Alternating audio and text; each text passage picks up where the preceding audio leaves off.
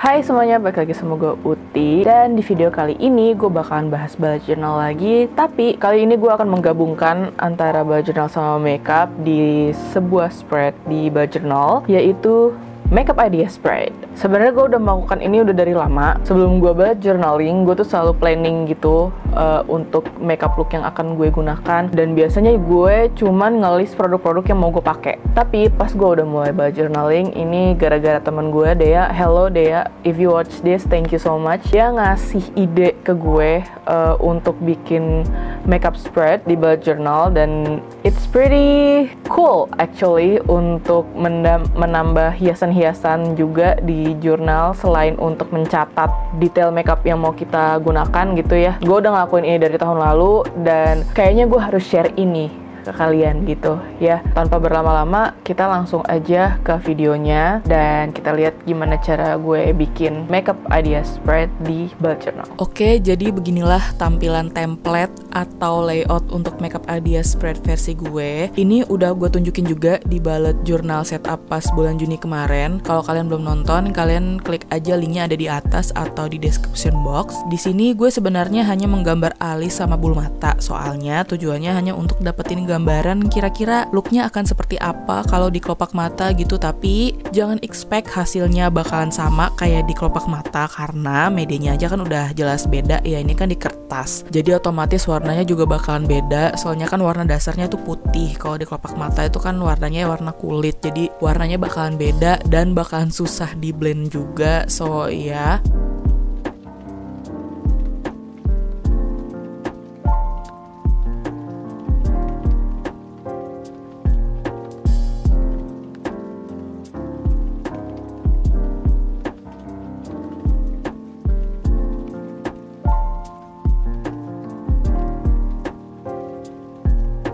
Tapi untuk template seperti ini kekurangannya gue nggak bisa taruh detail warna eyeshadow di bagian lower lash line. Kalau kalian suka yang natural-natural gitu sih mungkin tinggal ngikutin warna eyeshadow yang ada di kelopak mata aja ya. Tapi karena gue suka eksperimen, jadi di bagian lower lash line-nya suka gue pakein warna-warna lain gitu yang beda sama yang di kelopak mata. Di sini nggak bisa gue bikin jadi agak susah untuk melihat gambaran keseluruhan makeup looknya. Tapi nggak apa-apa sih, gue bisa tambahin tulisan di detail makeup looknya aja palingan.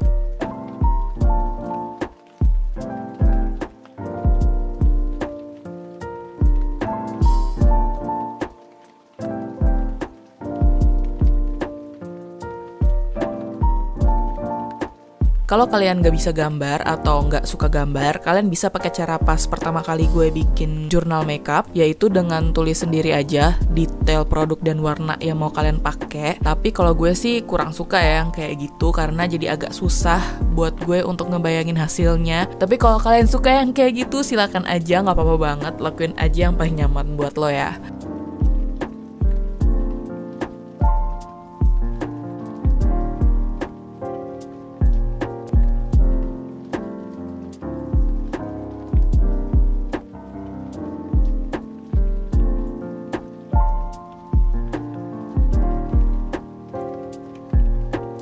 Untuk pengaplikasiannya sebenarnya kalian bisa banget pakai brush, tapi brushnya yang pipih ya, jangan yang modelan fluffy blending brush gitu. Soalnya color payoffnya bakalan lebih keluar pas pakai brush yang pipih dibanding yang fluffy. Kelebihannya kalau pakai brush juga nanti jadi lebih presisi hasilnya. Hanya saja warnanya yang keluar pun bakalan dikit banget dan bakal lama banget untuk ngebuild warnanya. Makanya di sini gue pakai jari aja, soalnya warnanya bakalan keluar banget walaupun hasilnya bakalan berantakan. Tapi nggak apa-apa karena again spread ini gunanya buat gue bukan untuk bisa memperlihatkan hasil makeup yang sama seperti ketika diaplikasikan di kelopak mata, melainkan untuk mencatat aja look yang mau gue bikin tapi belum ada waktu untuk dieksekusi gitu. Jadi gue bikin dulu gitu konsepnya di jurnal. Baru kalau ada waktu bakalan gue eksekusi dengan melihat catatan di jurnal ini gitu. Karena yang namanya ide itu kan harus banget dicatat ya guys. Kalau nggak dicatat nanti lupa dan sia-sia aja kan udah dipikirin gitu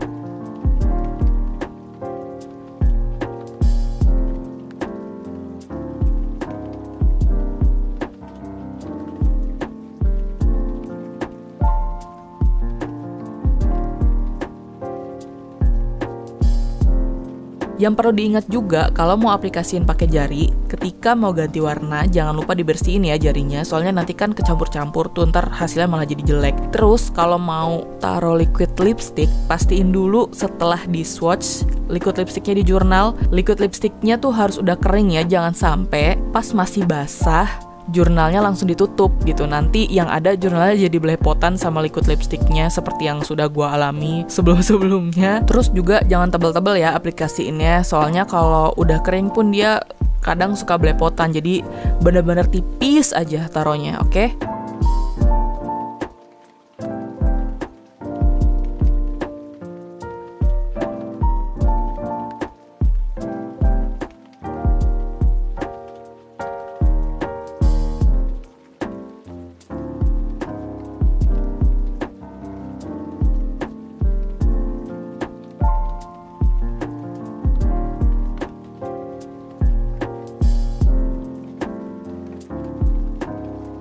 Oh iya, di sini gue hanya menaruh makeup-makeup yang sifatnya dekoratif ya, kayak eyeshadow, blush, sama lipstick. Kalau produk complexion seperti bedak, foundation, concealer, atau malah produk alis misalnya sama bulu mata, kan kayaknya kalau produknya beda hasilnya sama-sama aja ya. Jadi nggak gue taruh di sini. Tapi kalau kalian orangnya detail banget bisa sih ditulis aja di bagian detailnya. Tinggal ditulis aja gitu tambahannya gitu. Pakai bulu mata apa gitu kan. Siapa tahu kan mau achieve look-look tertentu yang dipengaruhi sama complexion misalnya kayak glass skin look atau no makeup makeup look. Atau mungkin perlu kayak dramatic look gitu. Jadi perlu kasih tahu detail pakai bulu mata yang kayak gimana gitu.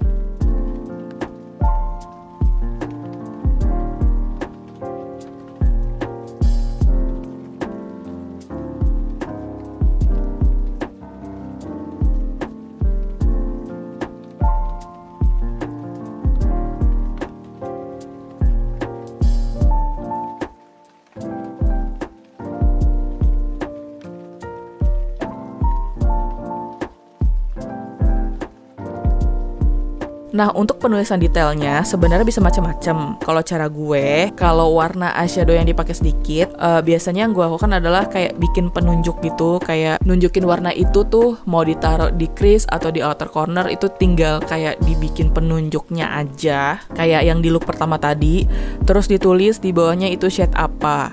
Tapi kalau warna eyeshadow yang dipakai banyak, kan kalau di garis-garis gitu bisa berantakan ya hasilnya. Jadi yang gue lakukan adalah ditulis aja warna eyeshadownya apa terus ditulis lagi detailnya warna itu mau dipakai di bagian kelopak mata yang mana. Misalnya mau ditaruh di kris kah atau di seluruh kelopak mata atau di outer corner atau di inner corner dan lain-lain. Gue kayak nulis di dalam kurungnya gitu nantinya misalnya shade nuansa di paletnya Buma Cosmetics terus dalam kurung buat ditaruh di crease gitu. Kayak gitu. Dan oh iya kalau di eyeshadow paletnya nggak ada nama warnanya, nggak ada nama shade-nya, paling gue tulis aja sendiri kira-kira itu warna apa. Nah berhubung di look yang terakhir ini, gue pakai palet yang warna-warni, jadi gue nggak perlu tulis lagi warna apa, soalnya udah tahu itu warna apa gitu loh. Jadi gampang ditebak lah kalau misalnya warnanya kayak coklat-coklat gitu kan suka mirip-mirip hasilnya di kertas. Jadi uh, kalau itu menurut gue harus ada nama shade-nya gitu.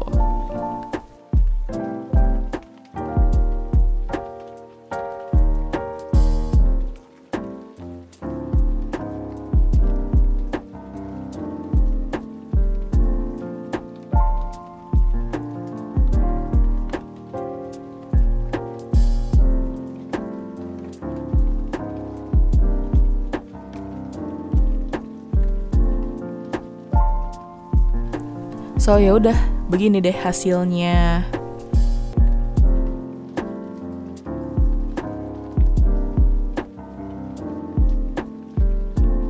Alright, thank you so much you guys for watching this video. Semoga makeup idea spread ini bakalan bermanfaat buat kalian yang suka makeup juga dan suka ngejournal juga. And I'll see you guys in my next video. Bye-bye!